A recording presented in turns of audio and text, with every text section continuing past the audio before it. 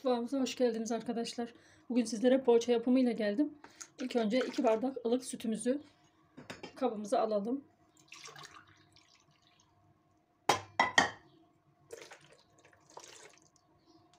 Bir yemek kaşığı toz şekerimizi ilave edip sütle beraber eritelim.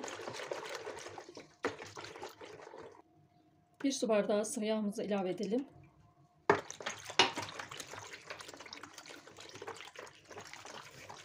Bir paket toz maya.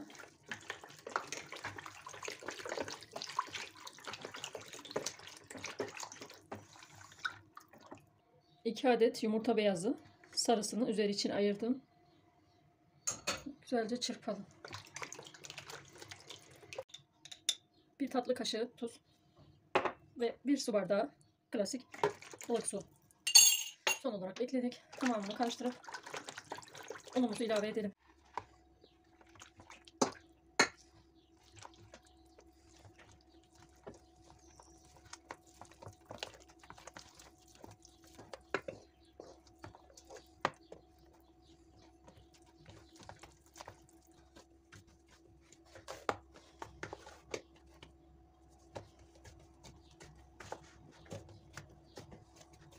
Evet arkadaşlar hamurumuz hazır. Toplamda 7 bardak un gitti. Şimdi kapağını kapatıp mayalanması için bekleyelim.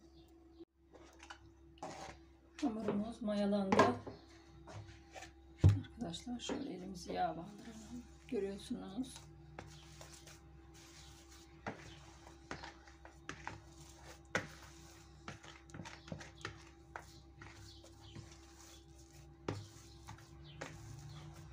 Gayet güzel mayasını aldı. Hamurumuzdan şöyle parça kopartıp bu şekilde açalım. İçerisine kıymamızdan şöyle uçlarını birleştirelim arkadaşlar. Şu şekilde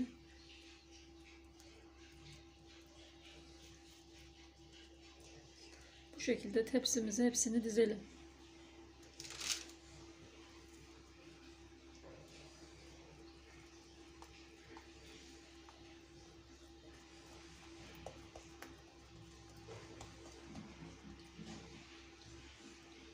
Kıymalı harcımızdan çok az olacak şekilde koyalım.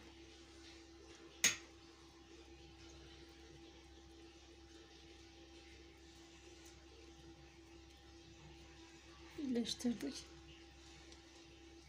Bu şekilde. Arkadaşlar poğaçalarım hazır. Tepsiye hepsini dizdim. Bir 10 dakika kadar tepsi mayasını alana kadar bekleyelim. Poğaçalarımız dinlendi. Şimdi yumurtalarını sürelim arkadaşlar. Üzerine.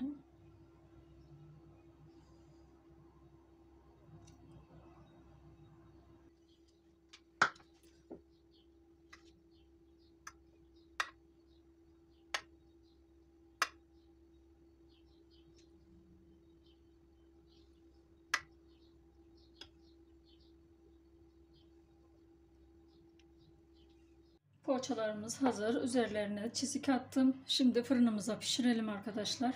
200 derece ısıtılmış fırında pişireceğim.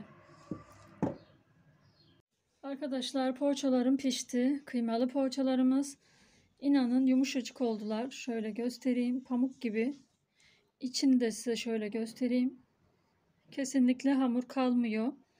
Kahvaltılarınıza severek yapabilirsiniz. Bugün böyleydi arkadaşlar. Kıymalı poğaça ile geldim. Huzurlarınıza umarım beğenmişsinizdir. Başka videolarımda buluşmak üzere. Hoşçakalın.